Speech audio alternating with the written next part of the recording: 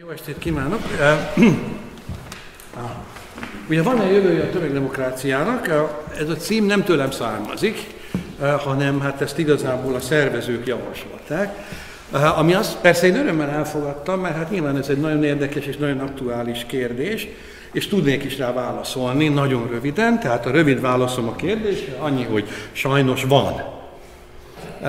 De, de hát ezt talán illenék hogy egy kicsit megmagyarázni, hogy mire gondolok. Részben a, részben a vanna, részben pedig a sajnossal. Tehát talán először kezdeném azzal, betéteni nem akarok sokat egyébként, tehát csak a, alapvetően a, a idézeteimet szeretném majd megmutatni, illetve egy példát, amit talán szemléltetés nélkül nehezebben lenne érthető. Egyébként inkább, inkább mesélni szeretnék.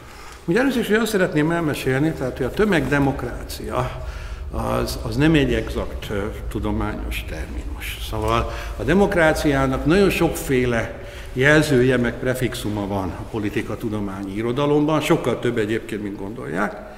Tehát ilyen száz fölötti jelzőt tudna egy jó politológus felsorolni, de a tömeg az, az nem tartozik ezek közé. Ugye, hát végül is ugye, mi lenne a tömeg demokráciának az ellentét? Hát egy csoport, vagy kiscsoportos demokrácia, ugye? Vagy, vagy kisebbségi demokrácia, vagy, vagy elit demokrácia, és még sorolhatnám. Nyilván ennek nincs sok értelme, lévén, hogy a demokrácia definíció szerint, vagy inkább azt mondanám, talán pontosabb azt mondanám, hogy etimológia szerint ugye nép, a nép uralma. Vagy, hát mivel ennek a szónak, hogy a nép, vagy ennek a kifejezésnek, hogy a nép uralma, Nyilván nincs sok értelme. Ugye miért nincs értelme? Hát kint tudna a nép uralkodni összesen? Magán. Magán, ne a népen. Ugye? De hát ha valaki, nem, ha valaki uralkodik ugyanazon a valaki, ugye az nem uralom, hanem az a teljes szabadság. Ezért általában ugye a demokrácián soha nem a nép uralmát értették, még a legeredeti formájában sem, ugye a többségnek az uralmát. És akkor hát ez lenne, ugye, hát esetleg ez lehetne egy ilyen. Tehát igen, a többségi demokrácia, a tömegdemokrácia az lenne ugyanaz, ugye? De akkor, akkor maga a demokrácia lenne azonos a tömegdemokráciával, tehát megint csak nem nagyon jutottunk ugye előrébb. Miért nem gondolom mégis, a tömegdemokrácia egy értelmetlen kifejezés? Azért, mert ez még két okból. Ugye az egyik az, hogy amikor mégis használjuk, mert hogy néha azért használjuk a tömegdemokráciát, mert én éppen ezért úgy rá is kerestem, hogy manapság szoktuk mondani, rágugliztam, hogy mennyien használják a tömegdemokrácia kifejezést, nem is magyar nyelven elsősorban, olyan angolul, és nem használják. Tehát nagyon ritka. Igazi szaktudományos cikkbe, így sem mass democracy nem is találtam, hanem, hanem inkább hát ilyen blogokba, civil Mégsem gondolom, hogy ez egy, ez egy rossz és egy, és egy értelmetlen megjegyzés. Ugye az egyik, amire gondolhatok, az az, hogy ugye demokrácián sokszor ugye valami olyasmit értenek, és ezt megerősítették azok a hát hogy mondtam, inkább blogbejegyzések, vagy kommentek, amiket elolvastam, hogy általában tömegdemokrácián a képviseleti demokrácia ellentétét értik, tehát legtöbbször van egy ilyen közvetlen demokrácia konnotációja. Ugye, ami ugye a közvetlen demokrácia, ami szemben a mai gyakorlattal, amikor ugye a nép nevében, a nép helyett ugye kislétszámú elitek uh, uralkodnak. Ugye úgymond visszatér a szó eredeti jelentéséhez, és ténylegesen a nép, tehát a tömeg közvetlen hatalom gyakorlására utalna. Na most, ugye a képviseleti demokrácia hívei persze erre mit fognak mondani? Azt fogják mondani, hogy hát jaj, hát kikérjük magunknak. Ugye szó sincs arról, hogy a képviseleti demokráciának képviselők uralkodnak.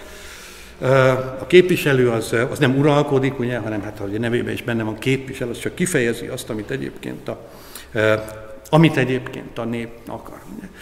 A, ugye ez lenne ugye a nép szuverenitás. Lehet, hogy a nép az csak éven, négy évente egyszer gyakorolja, ahogy Hobbes úgy mondja, hogy olyan, mint az alvó szuverén, négy évente egyszer fölébred, és akkor gyorsan rendet csinál, elküldi, aki nem, aki nem tetszik, de egyébként pedig, utána pedig újra mély álomba merül.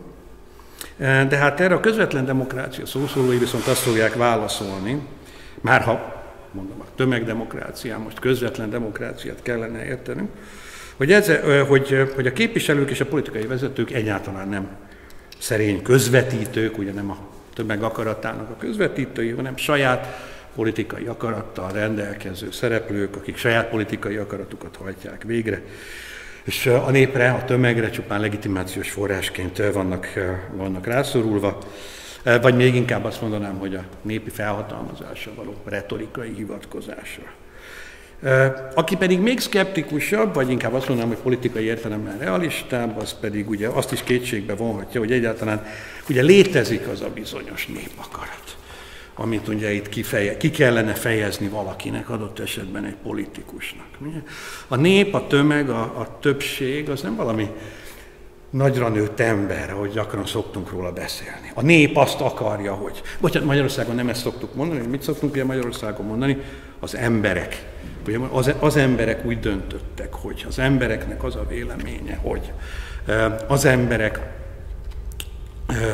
az úgy, úgy akarták, hogy. Tehát, mint hogyha ugye egy ember, egy ilyen, egy ilyen nagyméretű ember lenne, akinek ugyanúgy van akarata, véleménye, elképzelése, érzései, mint mondjuk Helgának vagy Hugónak.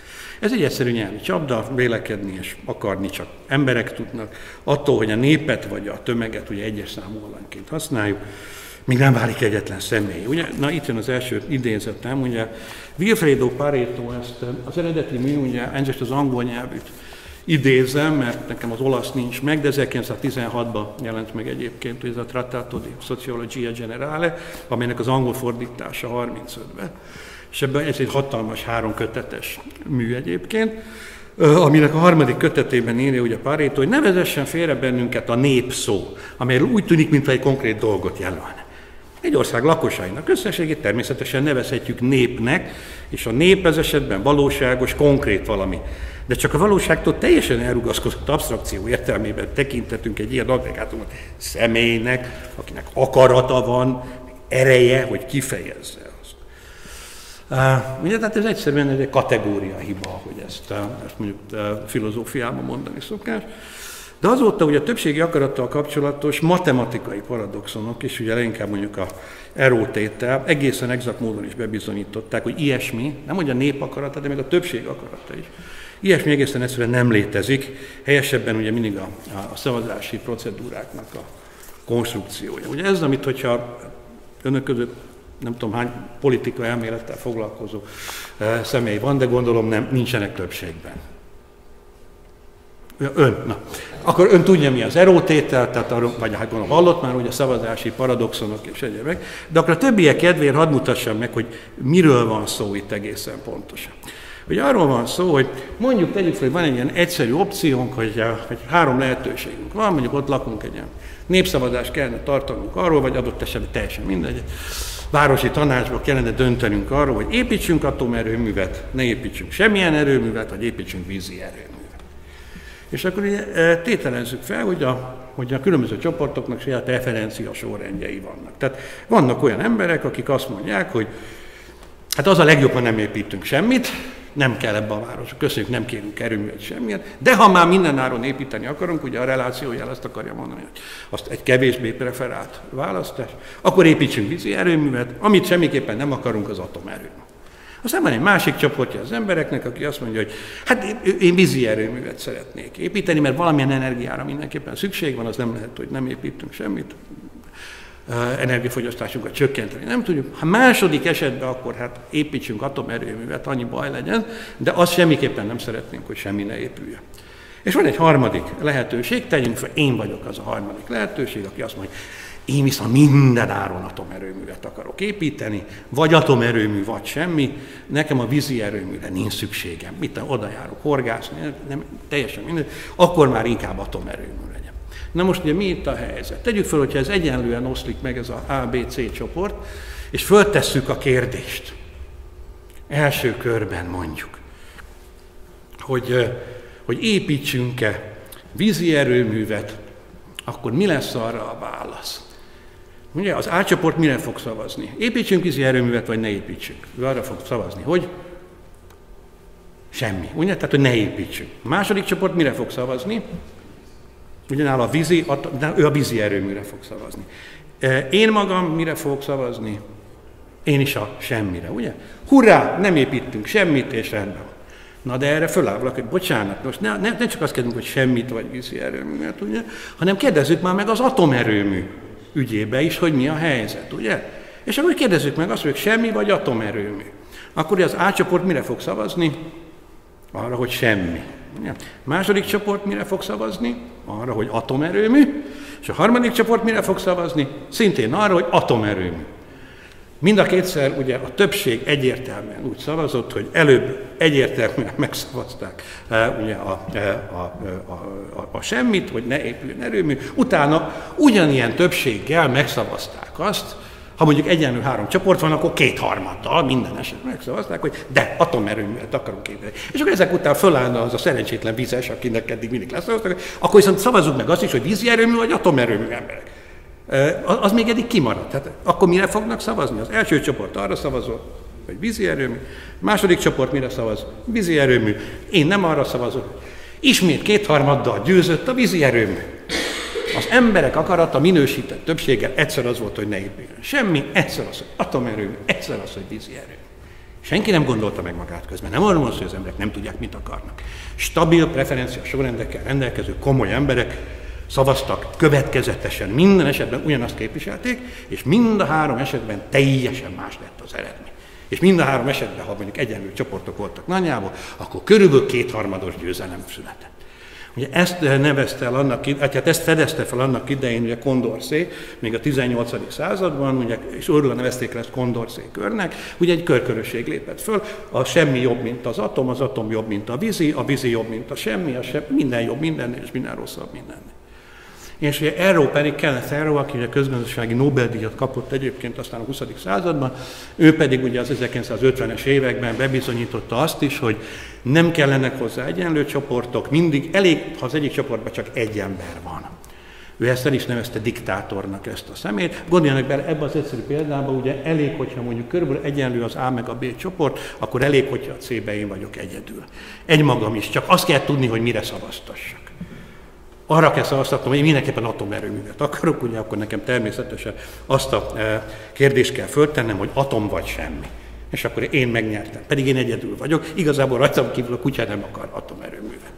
Szóval ez egy nagyon érdekes dolog, és ez matematikai tétel, azóta is keresik rajta a fogást, nincsen. A lényeg az, hogy a, általában a szavazások, a választások azok nem érdekagregációt jelentenek, vagy pláne nem akaratagregációt, hanem e, hanem mindig egy valakinek, egy, egy csoportnak vagy egy személynek a saját érdekét, preferencia sorrendjével megegyező eredményt mutatnak.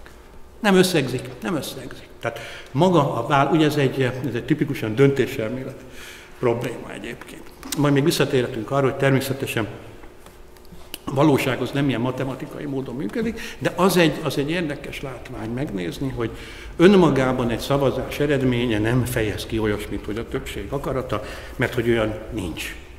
Hogy többség. Ha van legalább három opció és legalább három ember, aki eh, választ, akkor már ilyen nincs. Na most ennek a részleteiben persze most nem szeretnék még jobban elmerülni, annál is kevésbé, mert Ugye szerintem azért a kérdés feltevésben szereplő ugye tömegdemokrácia nem pontosan erre vonatkozik, ugye az előbb mondtam, hogy két okból sem tartom értelmetlennek a tömegdemokrácia kifejezést, tehát inkább általában a demokráciára, mint többségi uralomra vonatkozott. Ugye, a, amikor tömegdemokráciát emleget valaki, nekem mindig az az érzésem, hogy valami olyasmire gondol inkább, hogy a modern tömegtársadalomban, vagy inkább most azt mondom, posztmodern tömegtársadalomban megnyilvánuló, vagy megvalósuló demokráciáról akar beszélni. Ennek nyilván van köze az előzőhöz, de nem egészen ugyanaz. Ugye a tömegtársadalom az pedig egyáltalán nem értelmetlen kifejezés. Ugye a tömegtársadalmat emlegetni, azt ugye 19. században kezdték, ugye a 19. században eh, lett az ugye eh, filozófusok és politikai íróknak a, az, egyik első számú gondja, hogy a korábbi, ugye elsősorban hát ilyen középkori vagy, vagy koraújkori, nagyon sokszínűen tagolt társadalmakkal szemben kezdtek létrejönni egy ilyen Kezdett létrejönni egy egyre inkább, nagy részt egyre inkább homogén társadalom, legalábbis a nyugati világban. Ugye a gazdaság és társadalmi különbségek persze nem tűnnek el, és nem tűntek el a 19. században sem, ugye, de a gondolkodás, a kultúra, az értékek, az életmód tekintetében valamiképpen kezdett csökkenni az egyes csoportok közötti különbség. Ugyanakkor szóval egy érdekes dolog, ugye, hogy ez a, ez a növekvő individualizmus, a hagyományos közösségeknek a felbomlása, ami a ami, ami hát a középkortól az újkor felé való átmenetnek volt a jellemzője. Ez a, ez a fokozódó individualizáció, ez ugye paradox módon nem valami végtelen diverzitáshoz vezetett, hanem legalábbis a, az elittől elkülönülő tömegnek az esetében egyfajta társadalmi konformitáshoz, egy hasonló módon érző és vélekedő massza létrejöttéhez. Ugye igen, hát a massza szó, ugye az indo-európai nyelvekben az ugyanaz a szó, mint a tömeg megjelenéséhez. Ugye a 19. században ugye ezt írták már le ugye a demokráciának olyan kritikusai, mint Tocqueville, John Stuart, milyen nem is beszélve mondjuk Nietzséről, és a 20. század első felében ugye olyanok, mint mondjuk a Ortega y ugye a tömegek lázadása, és aztán ugye a 20. század közepén, vagy második felében aztán ugye a szociálpszichológia egyik kedve témája lett, ugye, tehát mint Rizmannak a magányos tömegje, vagy hát tulajdonképpen bármelyik szociálpszichológiai, hogy bevezető tankönyvet elkezdik olvasni ezzel a szemszögből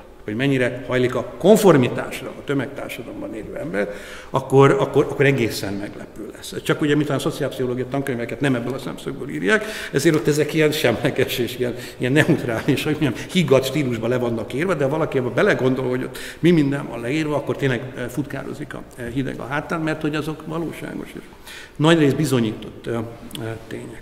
Nos, persze hallom az ellenvetéseket. Ugye erre szokták azt mondani, hogy hát hogyan lenne már homogén ugye a mai eh, nyugati társadalom. Legalábbis ilyet a nyugat, tehát tényleg a nyugatira koncentráljunk. Most bár nekem van egy olyan érzésem, hogy kezded azért terjedni a többi eh, kultúrára is. Az a társadalom lenne, ugye homogén, amiben együtt élnek, mint a ateisták és hívők, ugye hívőkön belül hát számtalan felekezet, eh, konzervatívok és liberálisok, jobboldaliak és baloldaliak, különböző etnikai csoportok, különböző nemi identitások és orientációk képviselői, vagy hát nem is tudom, tehát rockerektől a régi zene rajongókig, ugye mindenki. Most e, ugye hát úgy tűnik, hogy hát egy, végül egy hiperplurális társadalomban élünk, de erre azért lehetne néhány dolgot válaszolni. E, nyilván más napjaink társadalma, mint mondjuk a 19. századi. E, de, de se Tocqueville, se Nietzsche, sem, mit tudom én, Riesman nem azt állította, hogy nem lesznek mindig is e, olyan egyének és kisebbségi csoportok, akik elkülönülnek a, a nagy tömegtől. Ugye a massza az sose száz százalékot jelent, hanem, hanem társadalmi dominancia. Ugye a második, második amit szeretnék erre megjegyezni, hogy szóval a homogenizáció nem kész tény, hanem tendencia. Ugye nem önmagában értékelendő, hanem hát nyilván egy, elő, egy előző eh, történelmi korszakhoz képest.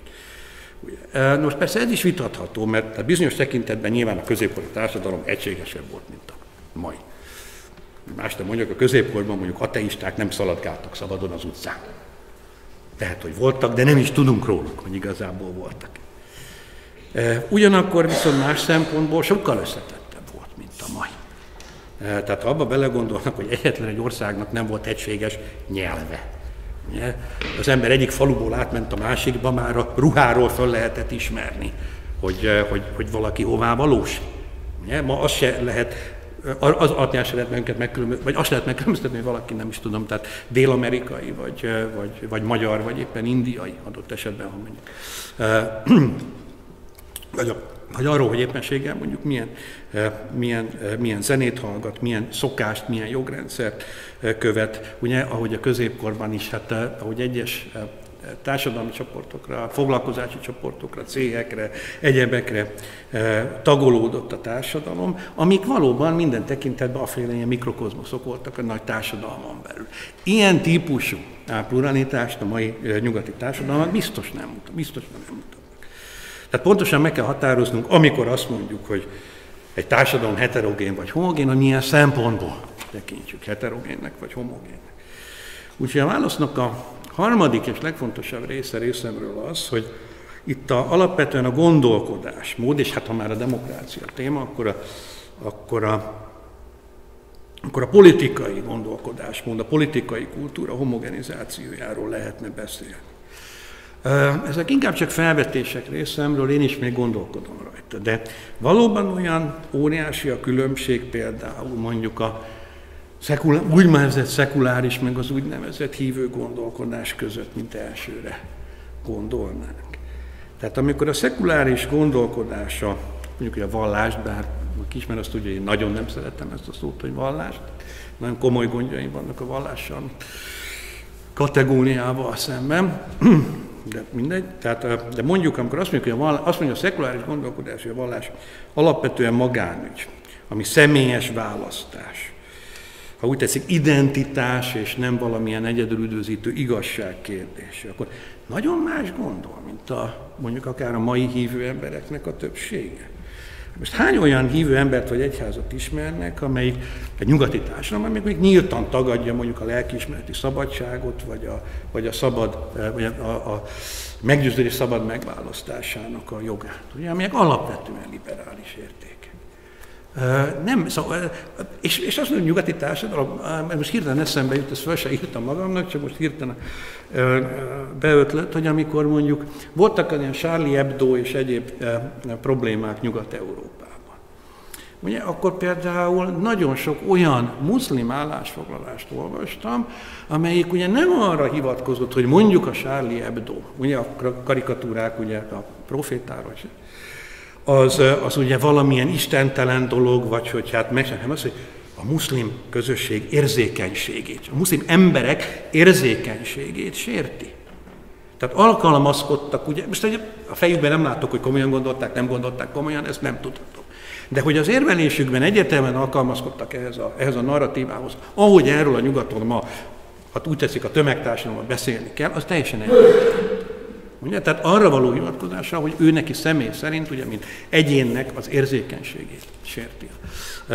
Mondjuk egy ilyen dolog, és hogy arra köteles a társadalom tekintettel lenni. Nagyon sokszor egyébként tehát tapasztalom ugyanezt, amikor amikor beszélgetek, tehát akár hívő emberekkel is, hogy elképesztő módon elsajátították tulajdonképpen már azt a gondolkodást, amely eredetileg a szekuláris, vagy eredetileg szekulárisnak neveztünk, illetve onnan ered.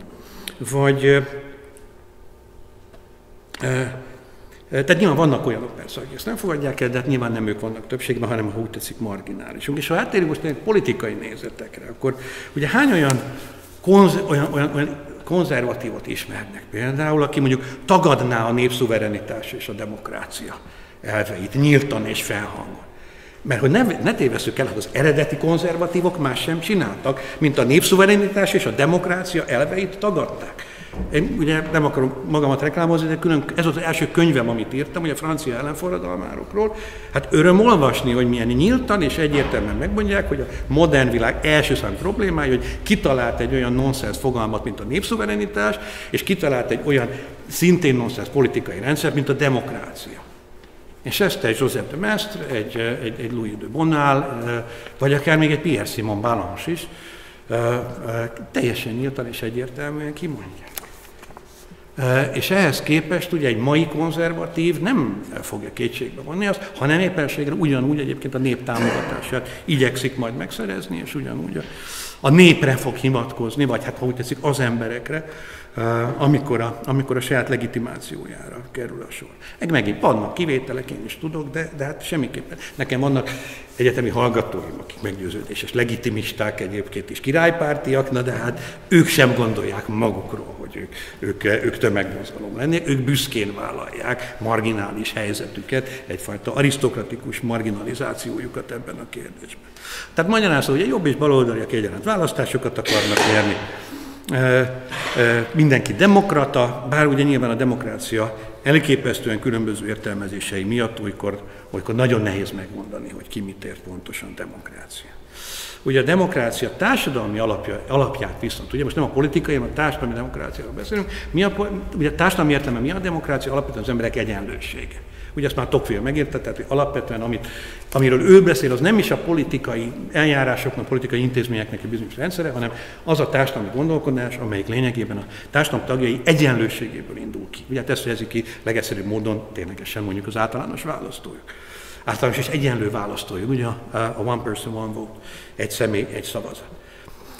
Ugye ezt komolyan senki nem vonja a kétségbe. Megint egy, egy sztori, most jött eszembe szinte, amikor voltam egy ilyen középiskolás szakolégiumnak a évzáróján idén májusban, és megjelent egy nagyon magas rangú politikus, most tényleg nem akarom mondani, hogy konkrétan ki volt, de tényleg nagyon, tehát a Magyarország első ötben benne van. És És nagyon érdekes, hogy egy olyan vitát rendeztek, ahol arról kellett a diákoknak vitatkozni, hogy elképzelhető lenne a választójog szűkítése Magyarországon. Mondjuk azt, hogy legalább 8 általános végzettséghez kötnénk. És, és hát ugye szerencsétlen diákok, akiknek kiosztották azt, hogy nekik emellett kell érvelni, hogy mondjuk a, aki nem végzi a 8 általános, attól vonjuk meg azt. Nagyon ügyesen, nagyon, nagyon intelligensen, nagyon ravaszul próbáltak érvelni, de hát teljesen reménytelen volt a helyzetük, ez világos, mert hogy ez egyszerűen dogma, hogy ilyet nem csinálunk. Nem tekinthetjük alacsonyabb rendűnek azt az embert, aki nem végzi el a nyolc általánost. E, és, és a zárszavában, ugye, amikor hát természetesen a másik fél nyerte úgymond a vitát hivatalosan is, ugye, amikor ez az illető magasan politikus is elmondta, hogy hát igen, tehát hogy értékelte az erőfeszítéseiket, de hát értsék meg, hogy emellett nem lehet ma érvelni. Az emberek egyenlősége az, hogy mindenki azonos és egyenlő, és, és egyenlő, és az egyenlőség, és hát ezt nem lehet kétségbe vonni, hát ez, ezen alapul minden, hogy egyenlőség, és akkor úgy néztem, ahogy ugye kiment a Mondta, neki sajnos most el kell menni, gyorsan, és akkor ugye kiment ugye az autójába, ugye, aminek hát a értékét azt nem tudnám megsatszolni, ugye ott van rajta a kék villogó, ugye, hogy neki azért a kressz szabályait ezért ne kelljen betartani úgy, hogy, hogy, hogy, hogy annyira egyenlő legyen azért a forgalom többi tagjairól, ugye kiugrott a sofőr, ugye nyitotta neki az ajtót, ugye, aki szintén azért van, hogy neki ne fáradjon el a keze ugye a vezetésbe. Bocsánat, nem akarom én a politikusokat bántani, csak ugye annyira, annyira érdekes volt ez a látvány, tehát egy hatalmas beszédet hallottunk az egyenlőségről, majd pedig hát teljesen nyilvánvalóan kiderült, amit persze, hogy tudunk, hát ez nem bűn, hogy ő egy politikai elitnek a tagja, ami, aminek egészen más jogai vannak minden országban, legdemokratikusabb országban, és Magyarország, Finnországban is, és, és Hollandiában is egészen más jogai vannak, mint, a, mint az átlagember. Tehát itt ez csak egy mellékesen jutott eszembe, hogy, tehát, hogy nyíltan viszont ő sem vonhatja kétségbe, mert ez, ez része a demokratikus dogmatikának. Ugye? De hát azért a dogmatika igenis hat az ember gondolkodására, és ez azért elég homogén ügy, amiről beszélnek. Ugye? És hát akkor még sorolhatnám hosszasan, ugye, hogy a Hogyha most tényleg a politikáról meg alászállnánk mondjuk a, általában az értékek meg a kultúra dimenzióiba, ugye, hogy vajon mondjuk nagyon mást gondol például a társadalomnak, teszem azt a heteroszexuális többsége a házasságról, mint a, mint a, mint mint a homoszexuális kisebbség.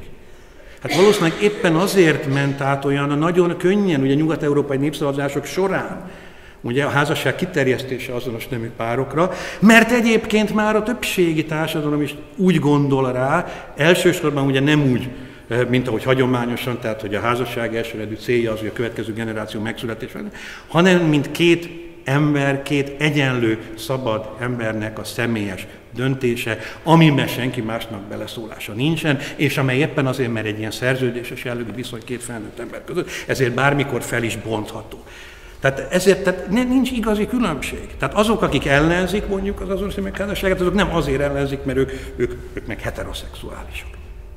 Mert akkor, mert, akkor, mert akkor ők nem kisebbség lennének, már pedig kisebbség nyugati társadalmakban, ugye ez egy nagyon jól körülírható, de egyre inkább marginalizálódó kisebbség egyébként, aki például e, e, ilyen ügyekben úgymond külön véleményt képvisel a többségivel szemben. Tehát, hogy a többség és a kisebbség az egészen más alapon szerveződik, és valójában a vélemények homogenizációja az nagyon is, nagyon is látható ebben a kérdésben. És mit akarok ezzel Ugye tulajdonképpen csak annyit, hogy a kultúra, és különösen a politikai kultúrá, kult, politikai kultúra szempontjából igenis létezik az az egységesülés, amelyre a tömegdemokrácia kisé pontatlan, de azért mégiscsak használható fogalma utal. Ugye Tokvilla, Tokvilla sokszor hivatkozom, a, e, szeretem Tokvillt, ez a fő oka, hogy miért szeretem Tokvillt, azt meg azért, mert úgy gondolom, hogy, e, hogy jó dolgokat mondani. Tehát Tokvill már a 19. században úgy fogalmazta meg ezt, hogy a mai világunkat egyfajta izgága monotónia jellemzi. Uh, igazából Amerikáról írta, de, de hozzátette, hogy de egyébként a világ többi részére is egyre inkább ez jelent. Ugye mit jelent az, hogy izgálga monotónia? Ugye az, hogy, az, hogy állandó izgalomban élünk, ugye állandóan minden változik. Minden nap valami újdonság, minden nap valami változás jelenik meg, de valójában a változásoknak a, a, a mintázata, a változásoknak az iránya az rettenetesen kiszámítható. Igazi nagy irányváltások nincsenek már a 19. 20. 21. század óta, hogyha a nagy trendeket nézzük, legalábbis Tokyo szerint tulajdonképpen, tulajdonképpen ugyanazon a vágányon vagyunk, ahol a változások azok, azok valóságosak, csak éppen hosszabb távon személyen végtelenül unalmasak, mert nincsen olyan igazi radikális elágazás vagy letérő a történelem útján, amely mondjuk jellemezné a nyugati világot az, az újkorban legalábbis. És ugye ő maga éppen ezért semmitől sem tartott jobban, mint hogy a, ugye a demokrácia végül is ugye egy olyan, olyan varázsszóvá válik, ugye, ami hát ilyen értelemben mindig a, mindig a tömegnek az akaratát fejezi ki, és végül ugye nem lesz olyan jogsértés, nem lesz olyan korlátozása a szabadságnak, nem lesz olyan elnyomása a tömegből kiemelkedő egyéniségnek vagy a szellemi kiválóságnak, amit ne lehetne ugye mindig az emberekre, a népre való hivatkozással alá támasztani. Ugye a legvilágosabb pillanataiban ő meg azt is felismerte különben, hogy itt nem is igazából a tömeg vagy a többség zsarnokságáról van szó, ugye Tocqueville híres kifejezése, ugye a demokráciára, a többség zsarnoksága, hanem az ezekre hivatkozó politikai vezetésnek a zsarnokságáról, amit aztán későbbi írásaiban már inkább meg is különböztetett ettől, mint demokratikus despotizmus. Tehát demokráciára hivatkozó, de valójában, valójában kisebbségi vagy akár egy személyi uralmat. A politikát azt végül is, tehát hogy ő maga is felismerte, tulajdonképpen sosem a tömegek csinálják, ugye csak hát éppen ez az, amit mondjuk egy demokráciában ugye kimondani sem, sem ildomos. Ugye a demokrácia ideológiája szerintem is, tehát éppen azért veszélyes, mert ugye lehetetlenné teszi az ilyen típusú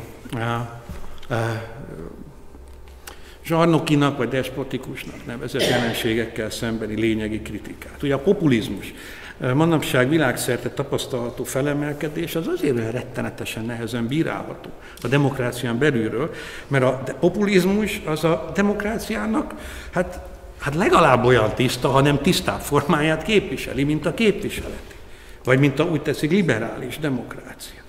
Ugye? A, persze, a populista rendszerekben is elitek uralkodnak, vagy éppen egy vezér uralkodik, ez világos, és nem a nép.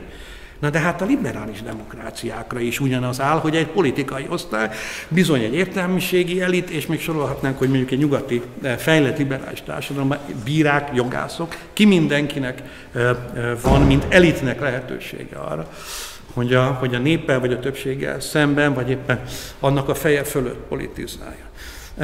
Tehát ebben igazán nem különböznek. Ha már most az egyik elitet jobban kedveli a közönség, adott esetben mondjuk a populista elitet egy adott országban, mint a másik elitet, ha nagyobb arányban szavaz rá, mint a másikra, ugye, akkor, a, akkor ez, ez utóbbi fegyvertelenné válik. A világban ma nem az a trend, hogy egyre több ilyen klasszikus diktatúra lenne, tehát ahol ül egy diktátor, körülveszi magát katonákkal, rendőrökkel, és akkor a, feldühödött nép ellenére ott egy szál magába, meg a néhány fegyveresével ugye védelmezi magát. Ma nem ez a trend a világban. Hát ilyen klasszikus diktatúrát ismerünk néhányat, de hát eh, a világ 190, vagy az N193 tagállama közül hát, hát alig tudnánk néhányat. Ma a trend a világban az, az, az egész más, az pontosan az, hogy demokratikusan megválasztott, sőt még a pluralizmus egyes díszleteit is megtartó rezsimek gyakorolnak megkérdőjelezhetetlen uralmat, és ez trend.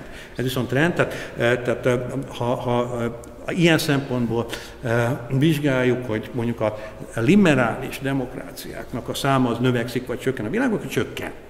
A de, nem a demokráciák száma csökken. Általában, hanem csak egy bizonyos fajta demokráciája. Úgyhogy ha még sokáig játszunk ezt a ki a demokratikusabb retorikai játszmát, akkor a nagyobb tömegeket maguk mögé állító rendszerekkel szemben ezzel nem marad semmilyen érvünk.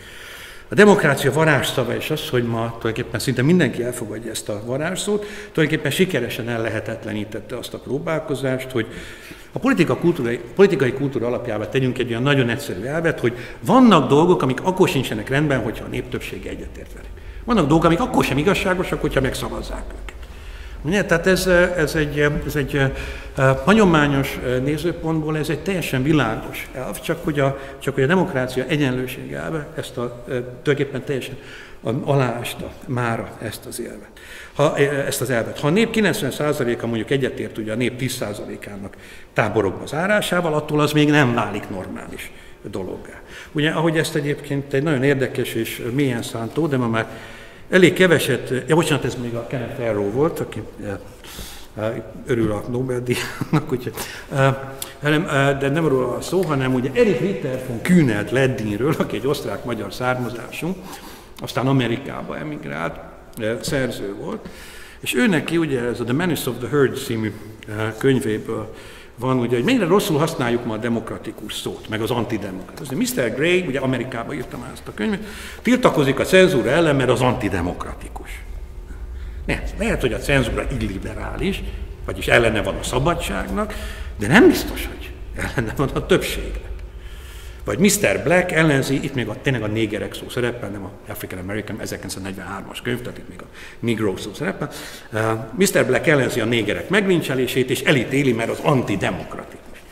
Nem. Ha a város többsége akar felakasztani egy négert, akkor az lehet, hogy keresztényietlen, lehet, hogy törvénytelen, lehet, hogy undorító, de mindenképpen nagyon demokratikus. Ugye? Tehát uh, uh, tehát ebből, a, ebből az ellenmondásból, hogy igenis volt már a történelemben precedens, Ugye a, a borító magyarázatául annyit ugye, hogy ezt a második világháború végén írta, tehát ő egyértelműen a náci rendszert, vagy a, vagy a sztálini rendszert is alapvetően demokratikusként jellemzi, abban az értelemben, hogy tömegmozgalmak ö, ö, ö, vezettek a megjelenésükhöz, és a tömegekre támaszkodva tartották fönn hatalmat. Ez egy sajátos dolog, most nem akarok persze a Kühnet elemzésébe belemenni, majd olvassák el a doktoranduszomnak, Pető Zolinak a, tanul, a diszertációját, aki pont Kühnet Ledinről ír, először egyébként magyar nyelven. De a lényeg az, hogy ebből az ellenmondásból, tehát hogy, a, hogy bizony a demokrácia sem teheti e, e, igazságosá azt, ami egyébként nem az, csak úgy lehet kikeveredni, ha valaki rendületlenül hisz abban, ugye, hogy a nép többsége az igenis tájékozott, racionális és alapvetően jó indulat. Csak ugye az a baj, hogy hát ezt a hitet nem sok minden támasztja alá. Ugye? Tehát a tájékozottságról és a racionalitásról rengeteget írtak már az elmúlt években, vagy most azt mondom, hogy egy, elmúlt egy-két évtizedben, Amerikában is, tehát ahol ugye legegyszerűbb a politikai kérdőívekre se tudnak jó válaszokat kapni, tehát mondja el, hogy melyik a három hatalmi ág, vagy kinek van joga hadat üzenni Amerikában. És akkor a szavazók fele, kétharmada a legtöbb kérdésre egyáltalán nem képes válaszolni. Vagy hát amit Magyarországon most olvastam, nem, nem kifejezett, vagy nem, els, nem kizárólag politikai témájú volt, de nagyon érdekes volt. A Political Capitalnek egy idén októberi felmérése, ugye, teljes magyar lakosság körében, tehát reprezentatív mintán, ugye, tehát nézzük, hogy a zöld az, ami inkább egyetért, ugye a piros az inkább nem ért egyet, szürke a sem. Magyar felnőtt lakosság 22%-a szerint az igaz, hogy repülőgépek rendszeresen vegyi anyagokat permeteznek hazánk felett azzal a céllal, hogy mérgezzék és elbutítsák az embereket. Tehát most ott, ott van, hogy hát csak a kisebbség hisz bennük, ez 22 százalék. Tehát azért, azért gondoljunk már bele, ugye? Tehát majdnem 1,6 hát millió ember komolyan tényleg hisz, hogy repülőgépre rendszeresen permeteznek bennünket azért, hogy, azért, hogy, hogy, hogy buták legyünk. Ugye? Vagy hogy a védőoltások ugye több bajt okoznak, ugye? Hát ezt önök is tudják, hát ez a sajtóban naponta megjelenik, ugye? Vagy a vezetékes ivóvízhez szándékosan adnak fluort, hogy mérgezzék ugye, az embereket. Ugye? Tehát önmagában, ugye, és akkor ott van még, még egy ilyen 20%-os csoport, amelyik nem tud, lehet, hogy igaz, lehet, hogy nem, ő nem tudja pontosan. És tulajdonképpen csak az embereknek körülbelül látják a fele az, aki ezeket, ugye ezt azért tették fel ezeket a kérdéseket, mert ezeknek a többsége nyilvánvaló blödség.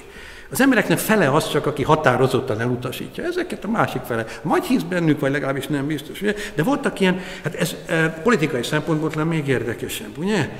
A lakosság 26-30%-a szerint ugye vezető kormánypolitikusaink rendszeresen és titokban pszichiátriai gyógykezelésre járnak Grácsba.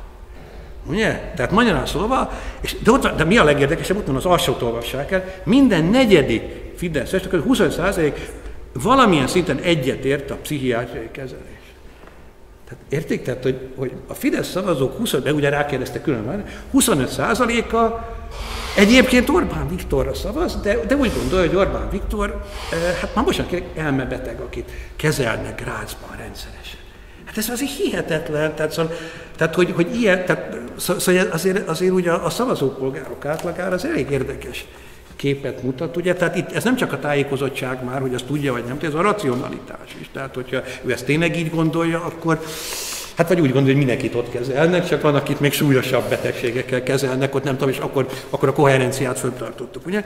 És akkor ugye ezek után nyilván nem meglepő az, hogy ugye azzal viszont a lakosság 51%-a ugye ért egyet természetesen azzal, hogy Soros György menekülteket akar, de ugye nem is ez az érdekes most nekem, ugye, hanem az, hogy 42% a magyar felnőtt lakosság azt gondolja, hogy gyógyszercégek ugye szándékosan nem gyógyszereket gyártanak, hanem a valódi gyógyszereket eldugják előre. Érték, ez a felnőtt lakosság majdnem a fele azt gondolja, hogy a gyógyszercégek nem gyógyszereket gyártanak, hanem szándékosan olyasmit gyártanak, és valódi eldugják elő. Ugye?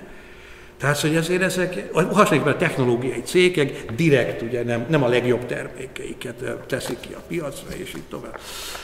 Hát a földön kívüliek látogatásának a 23 hisz az már egyáltalán nem meglepő, és még egy, ugye, és ezek után nyilván nem meglepő az, hogy például az, hogy a muszlim vezetőknek ugye titkos tervük van arra, ugye, hogy elfoglalják Európát, ugye az körülbelül az emberek fele ért ezzel egyet. Ugye ezzel megint ugye mi az a gond, hogy természetesen vannak olyanok, hát mint az iszlám állam, aki tényleg térképeket tett közé arról, hogy persze Európát meg akarják hódítani. Én magam is láttam ilyeneket Dabikban is, tehát iszlám állam folyóiratában, meg hasonlók.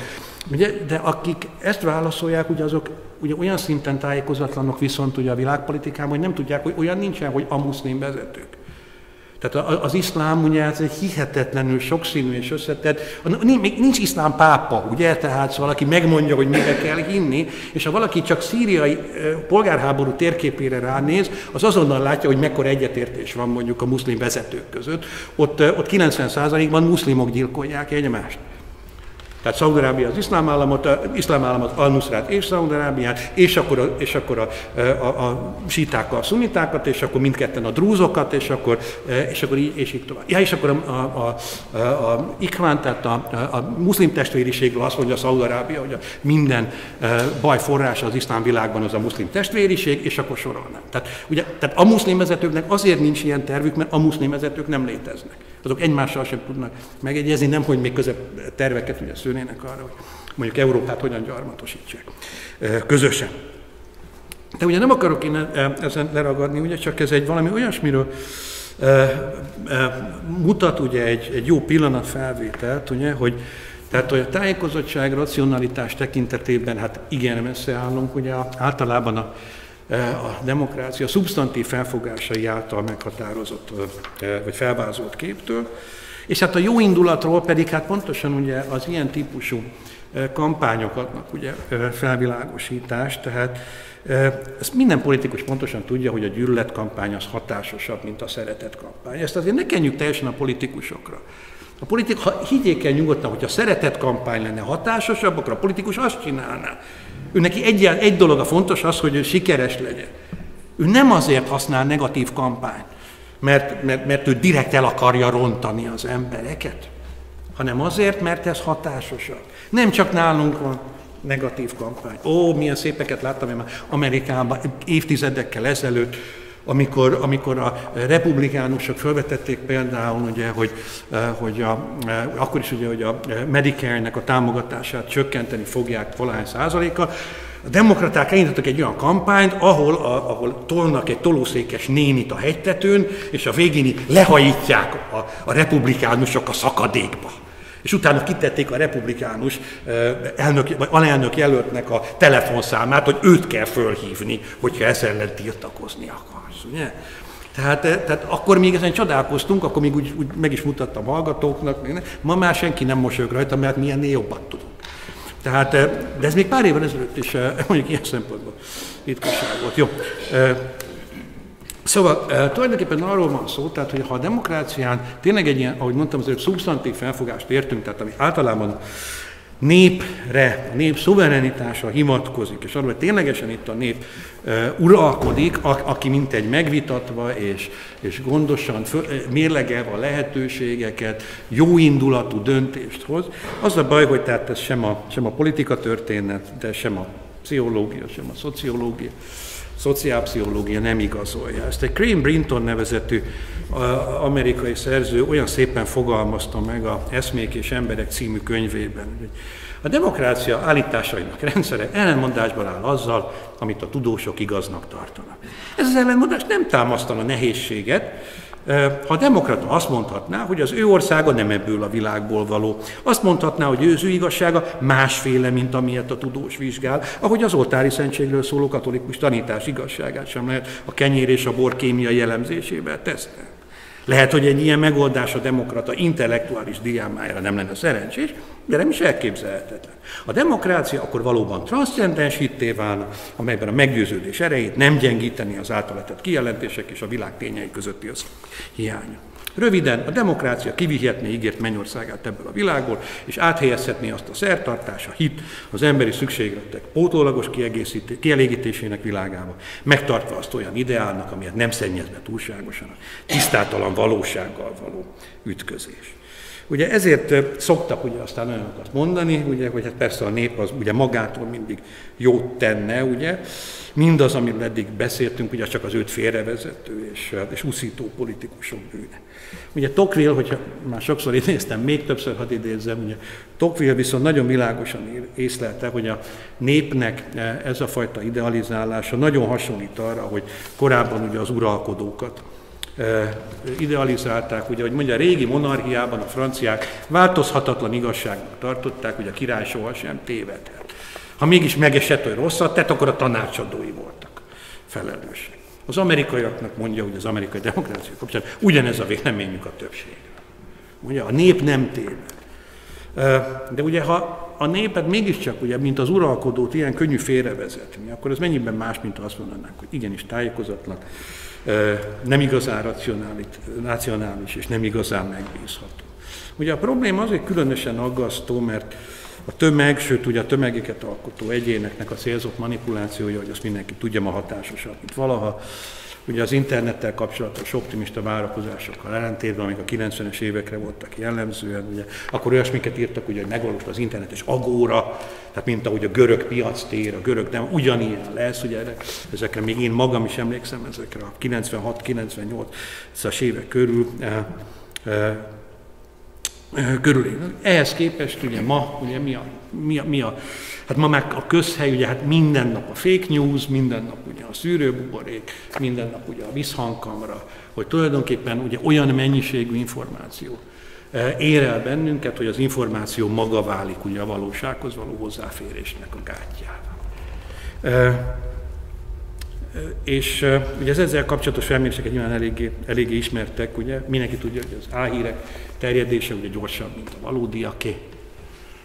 Ugye mi evidens? Hát én is, ha holnap föltesznék egy olyan hírt, hogy mit tudom én, a, valójában nem a, nem a uh, hármas metrót fogják meghosszabbítani Újpesten túlra, hanem valami egy ötös metrót akar építeni a kormány, mit tudom én, orosz és szaudi tőke bevonásával a Duna alatt hosszába, azt sokkal többen fogják megosztani, mint hogyha fölteszem az igazságot, hogy Újpestnél kicsit meg akarják néhány megállóval hosszabbítani. Ugye egyszerűen érdekesebb. Hát álhír természetesen fogva érdekesebb, mint a valódi. Tehát, hogy, és ugye azt is tudjuk, az ilyen Cambridge analitika, meg egyéb botrányokból, ugye, hogy ma már ugye oda is eljutottunk, hogy tehát politikai véleményeket egyértelmű, nem csak reklámokat, hanem politikai véleményeket is lehet generálni ugyanazokkal az eszközökkel, amelyekkel egyébként ugye marketing. Mindenki pontosan tudja, hogy én magam is ezt egyébként alkotmányvédelmi hivatalnak egy képviselőjétől hallottam, négy szem közt, hogy ne, hát hogyha valaki csak hetente egyszer lájkol valamit a Facebookon, és föltesz magáról fotót, meg az alapvető információkat, tehát hova jár iskolába, hol dolgozott, stb., akkor ebből körülbelül 80-87%-os tisztaságú profil tudnak az illetőről fölállítani néhány hét alatt. Tehát nem kell nekik kémkedni senki után. Mi magunk egyébként megtesszük, kémkedünk magunkat. És ha, és ha ugye ezt tudja, akkor viszont tud is befolyásolni. És hát pontosan arról van szó, ugye, hogy, a, eh, hogy, a, eh, hogy ezt, a trende, ezt a tendenciát nem igazán lehet megfordítani. Eh, rengeteg próbálkozás van arra, hogy, hogy ezt tegyük, de ezt hozzá kell szokni, hogy ez nem fog menni. Egyszerűen a, ma már túl van ezen a, túl van ezen a, a technika és a technicizált tömegtársadalom. Most ilyen helyzetben ugye pedig különösen igaz lesz az, ugye, hogy ami egyébként a tömegek előtérvelése mindig is igaz volt, hogy a vitában sosem a jobb érvek győznek. Természetesen meg lehet próbálkozni azzal, hogy mondjuk mi magunk is a szerintünk helyes alternatívának szerezzünk többséget, de ebben mi magunk is igen manipulációra és érzelmi hatásokkal leszünk utalva.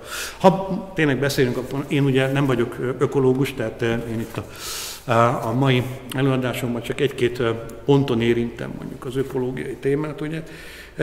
De egyébként a nyugati országok egy jelentős részében igenis a környezet vagy természetvédelem sikeres példa erre. Tehát, hogy legalábbis az embereknek egy jelentős részének, és különösen egyébként fiatalabb generációban egy jelentős részének sikerül úgymond a gondolkodására hatással lenni. De ugye azért a teknősökre ragadt nejlonzacskók, ugye, meg a, meg a leszakadt jégdarabon, ugye, medvebocsát ölelgető jegesmaci, az azért nem a racionalitás diadalom, ugye? Tehát ezek nem arról szólnak, hogy ténylegesen megértetik a projekt valakivel, hanem hát pontosan a, a tömegtársadalomban és a tömegmédiában megkövetelt eszközöknek a használata. Azt most nem is akarom mondani, hogy egyes ugye, természetvédő szervezetek is hányszor lőttek már mellé egyébként hasonló ilyen érzelmileg motivált kampányokkal egyébként, amelyeknek, a, amelyeknek egyébként a valósághoz nem volt köze, gondoljunk a fúziós erőművek elleni kampánytól kezdve egyébként mondjuk, a, mondjuk a, a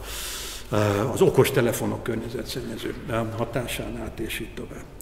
Ugye, de ez ugye a presztízsüket egy ottányival sem csökkentette adott esetben, amikor a végeredmény az talán örvendetes, de ugye attól mindenképpen óvnék, hogy, hogy ebben a nép felvilágosultságának a bizonyítékát lássuk. És ugye nem is mindenütt sikeres a stratégia, tehát ilyenkor az embernek eszébe jut az a példa, és ennek majd lesz egy egészen mai aktualitása is. Ugye már régebben is emlékezünk arra, amikor hát ilyen tényleg környezetvédő szervezetek köré, mert majd, hogy nem ilyen program volt ez a mentsük meg Afrikát az afrikaiaktól, ugye? Tehát amikor a Serengetiből vagy a Gorongoróból ugye tegyük ki az őslakosságot, mert ők ugye nem értik, hogy azzal hogy kellene igazából bánni. Ugye voltak ilyen kampányok. Mert hogy miért? Ugye, mert hogy valóban igaz az, hogy semmi garancia nincs arra, hogy mondjuk a lakosság többsége, ha mondjuk a rövid távú megélhetése és mondjuk a természet hosszú távú megóvása között kellene választani, akkor feltétlenül az utóbbit fogja választani. Ugye a friss példa, amire utaltam, ugye az Brazília. Ugye, tehát ugye, ugye most volt ugye Brazíliában elnökválasztás, és ugye a frissen megválasztott elnök, ugye Jair Bolsonaro, ugye már a kampányban ugye elmondta, hogy mondjuk az indián rezervátumok az Amazonas őserdőben, azok olyanok, mint a himlőhelyek Brazília testén, ugye? Mennyiben himlőhelyek, ugye itt most nem is a, nem is a szokásos valamilyen rasszista narratíváról volt szó, hanem hogy mert ugye a, ott, ott a természeti környezetet is a, a, ezeknek a területén köteles az állam óvni, ő viszont ugye ígéretet tett arra, hogy az itt található ásványkincseknek a kitermelését fogja szorgalmazni. És megválasztották, és demokratikus választáson a bolsonaro megválasztották. Ugye miközben, ugye, ha jól, pont most olvastam egyébként a Guardianben egy cikket, szó szerint három nappal ezelőtt, ugye, ami arról szólt, hogy, hogy, ugye, hogy az évtizedben megint egyébként a tavalyi évben tűnt el a legtöbb esőerdő. Tehát egy erdő egyáltalán ilyen. Tehát körülbelül, ha jól emlékszem, 8000 négyzetkilométernyi erdő 8000 négyzetkilométerre csökkent az erdőterület Brazíliában. Ugye hát, hogy belegondolnak, az egy 80 100 kilométer, ugye? Tehát, hogy húznak egy vonalat, mint egy Pestől Szolnokig, és arra állítanak egy négyzetet, egy akkora terület.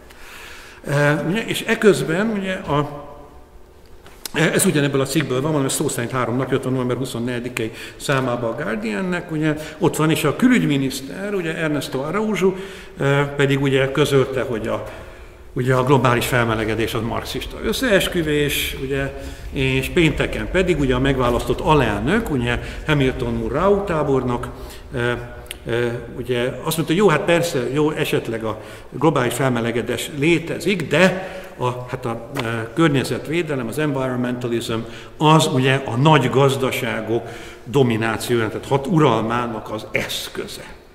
Ugye? Tehát, hogy maguk a környezetvédők semmi mások, ugye, mint egy gazdasági elit eszközei. Ez egy tipikus demokrata, ha úgy tetszik, populista szömeg, ugye, tehát, hogy a környezetvédők, azok ugye nyugati, vagy ha úgy tetszik északi, hogyha globális dél, meg észak azok, a, azok annak bizonyos elit csoportjainak, gazdasági elitnek a fizetett ügynökei. Ugye, tehát vigyázzunk ezért, és akkor hogy ő nem demokrata, hát most választották meg ebben a pillanatban. Ugye, környezetvédőket kiválasztotta meg, ugye, a Greenpeace-t kiválasztotta. És akkor sorolhatnám. Tehát ezért mondom el még egyszer, hogy ha annyira demokraták vagyunk, hogy a nép többségét tévedhetetlennek és mindenhatónak tartjuk, mint egy istenséget, akkor az ilyen érvelésekre nem igen tudunk mit mondani. Uh, ahol igazságos társadalmak vannak, ott bizonyos dolgokat egyszerűen nem lehet megtenni, és kész, függetlenül attól, hogy a többség éppen mit gondol, vagy mit tesz. Jó esetben persze maga a többség is így gondolja, de vannak olyan országok, ahol tényleg a többség is így gondolja. Hát, hogy bizonyos dolgokat azt mondják, hogy nem szabad, hát akkor nem szabad. De ezt alapvetően soha nem magától találja ki, hanem elfogadja valamilyen elittől. Ugye, ahogy ugye Ortega mondta még egyébként 1930-ban, a tömegek lázadása, az emberek nagy részének nincs véleménye, és az kell, hogy a vélemény kívülről hatoljon bele, mint olaj a gépezetbe. Ezért kell a szellemnek ilyen vagy olyan kézbe tartani és gyakorolni a hatalmat. Hogy az a népréteg, amely nem vélekedik, és ez a többség vélekedjék, mert vélemények hiány az emberi együttélés káosz lenne. Ugye? És ha a nép többsége ugye mégsem akarja elfogadni, hogy a hatalmának vannak korlátai, akkor persze jön a bíróság, ugye csak hogy az már ugye nem demokrácia, hanem az arisztokrácia, hogy egyébként, eh, ahogy egyébként Tocqueville is eh, mondta. Úgyhogy zárásul tulajdonképpen csak még két idézetet szeretnék eh, eh, idehozni, hogy tényleg a, eh, egy, órát, egy órás időkeretet ne lépjem túl. Ugye, de a lényeg az, hogy itt a kérdés ténylegesen az, amit már mi többször is említettem ma, hogy, tehát, hogy az, amit demokráciának nevezünk, az azért valójában soha nem a, nép, a, a népnek a közvetlenül gyakorolt uralma. Ha már ilyen régi obskurus szerzőket idézek, akkor még a Gaetano Moszkának, ennek is az eredeti még 1896-ban jelent meg, az olasz cím az, hogy Elementi di Scienza Politica, tehát a politikai tudomány elemei, alapelemei, az, ami más kormányzati formákban történik, vagyis az, hogy egy szervezet kisebbség rákényszeríti akaratát a szervezetnek többségre, ugye ez Moszkának a kedvenc gondolata, az történik tökéletesebb formában a képviseleti rendszerben is, Jól lehet a látszat ennek ellenkező. Amikor azt mondjuk, hogy a szavazók megválasztják a képviselőket, nagyon pontatlanul fogalmazunk. Az igazság az, hogy a képviselő választatja meg magát a szavazókkal. Vagy ha ez a kifejezés túl merev vagy túl erős, akkor úgy pontosíthatjuk, hogy a barátai választatják. A választásokon, ahogy a társadalmi élet minden más területén is, azok vezetik a többieket, és azok parancsolnak, akiknek megvan az akaratuk, és főleg a morális, szellemi és anyagi erejük, az eszközeik ahhoz, hogy az akaratukat rákényszerítsék a többiekre. Ugye, és ma, amikor, ahogy mondtam, nyíltan antidemokratikus rendszereknek alig maradtak hívei, tulajdonképpen minden politikai csoport erre törekszik, vagyis, hát ha úgy tetszik, hogy Talleyrand is idézem egyszer, hogy ő mondta, hogy csak a képmutatás természete változott. Ugye ezt a restauráció, Napóleon után találtam mondani. Persze sokszor megkérdezik tőlem, hogy nem félek-e attól, hogyha a demokráciát ilyen erősen kritizálom, akkor a demokrácia kritikáját úgy lehetne érteni, mint hogyha helyette ugye a diktatúrát javasolna. Már kaptam egyébként ilyen kérdést egy előadás után. Na most erre azért nem tudok mit mondani, mert ugye ez eleve egy hamis szembeállítás, tehát a demokrácia, eh, ahogy ezt láttuk a az, amit demokráciának hívnak, az nem a diktatúra ellentéte, hanem annak egy altípusa. Ez Platontól Aquinoi Tamáson át Tocqueville mindenki, minden jelentős politikai gondolkodó pontosan látta. A valódi ellenpont egy ilyen tömegdemokráciával szemben egy olyan rendszer, amiben a politikai kormányzat egymást kiegyensúlyozó hatalmak bonyolult rendszerét jelenti. Ezt hívhatjuk középkori mintára vegyes kormányzatnak, vagy modern 20. századi kifejezéssel, Robert Dahl kifejezésével poliarchiának, tehát több hatalmúságnak. E, társadalmi értelemben pedig, bár hát ezt nyilván jóval nehezebb megvalósítani, hogy a különböző felfogású és kultúrájú közösségeknek egy, e, egy bonyolult hálózatát. Ennek az utóbbinak a kibontakozásához viszont éppen az kellene, hogy ne csak a politikai demokráciának ezt a központosító, hanem a társadalmi demokráciának ezt az egyenlősítő és uniformizáló tendenciáját is elutasítsuk. És hát persze ez az, ami utópiának hangzik, ezért gondolom azt, hogy a tömegdemokráciának még igenis van jövője, de ezzel szemben én hadd zárjam azzal, amit Tocqueville mondott, talán kedvenc Tocqueville idézetem a sok jó Tocqueville idézet között is, amikor hogy csupán Isten lehet veszély nélkül mindenható, mivel bölcsessége és igazságossága mindig felér a hatalmába. A Földön tehát nincs hatalom, amely önmagában véve oly tiszteletre méltó lenne, és oly szent jogokkal rendelkezne, hogy hagynám cselekedni ellenőrzés nélkül, és uralkodni korlátozás nélkül. Amikor azt látom, hogy megadják a korlátlan cselekvés jogát és lehetőségét valamely hatalomnak, hívhatják népnek, vagy királynak, demokráciának, vagy arisztokráciának, gyakorolhatják monarchiában, vagy köztársaságban, itt szólok, itt a zsarnokság csírája, és elindulok, hogy más törvények alatt éljek, amíg még lesznek más helyek egy globális világban. Jó, köszönöm szépen, én akartam mondani.